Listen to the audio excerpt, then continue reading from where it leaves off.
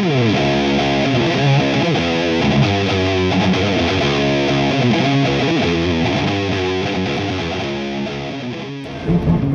uh, on our way to Richmond, Virginia to hang out with the humble boys from Lamb of God and gonna do some video and some photo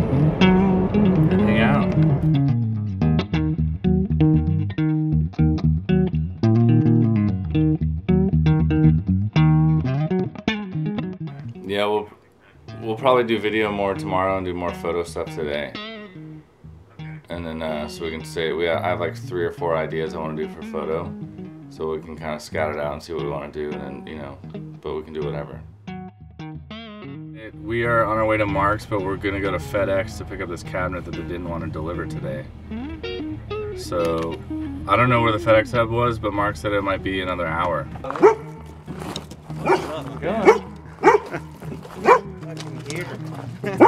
Alright, dude. Good to see you, man. Oh, wow, we're filming already. Thing. Um,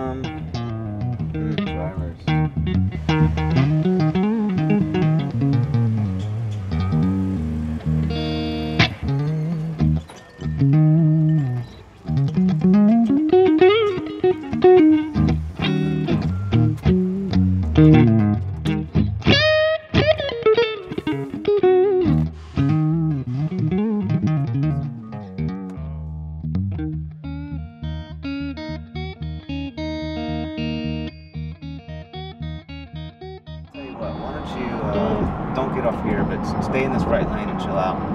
And we're gonna take that Broad Street exit. So that's why it was like, it finally to me solved the issue of how to find low end in there. That's not that's not too loose for me.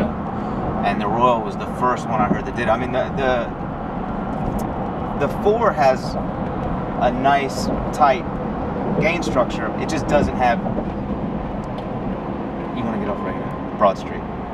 It just doesn't have a whole lot of low end um, presence, and when you force it, it's not. It's not the most. It's not the strong point of the amp. Is low end, but to me, the Royal is solved that issue big time. How And it's like, and it sounds modern. It's a modern sounding gain, and there's plenty of it. But it's still got a really great mid. pre- That's just it. It's like I was able to like this finally gave like a tight present low end, but still that awesome growly mid with that smooth kind of creamy gain structure that I like so much. You're gonna come up to this light and take a left. So that's my take on it. You know, I've probably told you this before. We've laughed about it before. Taking a left right here. That I want. I want the. I want there to be a character of in the in when you're chunking chords to sound like when you're thumping on a watermelon. You know what I mean? It's like that real thunk thunk thunk thunk. Like I like that. That kind of uh, character. like a resonant chunk. Like a thunk. Like a like almost. It's uh, it's almost got this kind of hollow timbre to it, and uh, I I just uh, the five to me is is is more. It's still a little sandier, and it's and it's like just kind of got this this it's barkier, whereas to me I'm able to get the four a little more um, a little more of a pleasant woof, you know. It woofs. The five barks, the four woofs. Am I totally And- full of shit? and you said the royal growls. This is good. The royal growls, right? They're all dogs. Wolf barking, They're all growling. dogs, but they have uh, oh, Curtis. they've got different voices.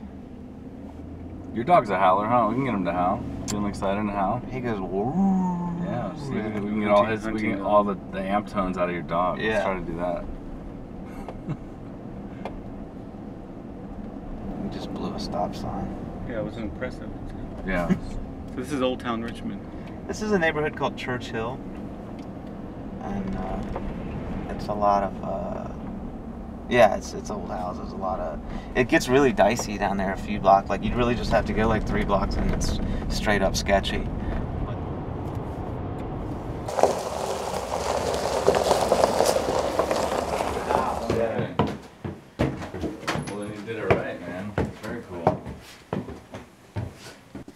Where are you going? You going on tour? Yeah, your turn. You play. Can you play?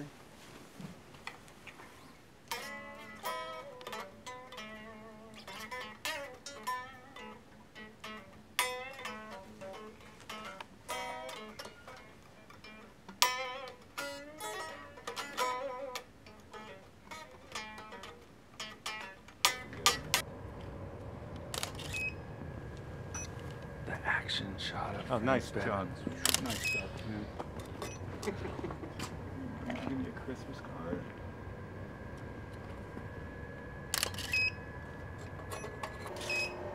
Turn the guitar ever so slightly. That that's perfect.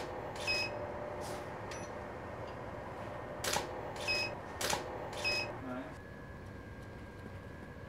Some fans of the band that were incarcerated um, had a lot of time on their hands, and they actually made a, uh, a model, but actually a functioning model of an acoustic guitar, and uh, it was presented to me. And uh, this this shows you what a lot of time and uh, dedication to a project can produce. It's pretty impressive, really. Hey, it's Mark Morton from the band Lamb of God, and I'm here uh, in my little jam room here in Richmond, Virginia, with my new toy, my new amp, the RA100 from Mesa Boogie. Uh, I was sent this amp late in the recording stages of our new record resolution, and immediately plugged it in and began playing with it, and quite simply fell in love with it. Um, it's really got a, uh, a low end presence and a, a tight saturation on the bottom end that I felt like was um, missing from my tone, and it gives it a little bit more of a modern character um, that I like quite a bit. So these are my settings at the moment. I'm still playing with it quite a bit, but this is where I've got it right now. Um, I'm in the 100 watt mode. Uh, it's a little rowdier. The 50 watt mode is cool, but it's uh, it's just a little bit silkier and creamier. Um, uh, just a more of a character thing. But I'm in 100 watt right now. Got lots of mid um, dialed into my tone. Um, I like a kind of a bright, bloomy sort of mid range. And um, the I think the amp um, just inherently has quite a bit of low end presence, and um, you'll hear in a minute when I start playing that that is definitely there. Nice tight saturation on the, on the bottom end. Um, but a, a lot of variety in the amp, and um, I'm pretty excited about it. So um, it's definitely something I'm adding to uh, to my live rig, and uh, I'm pleased to be playing with it.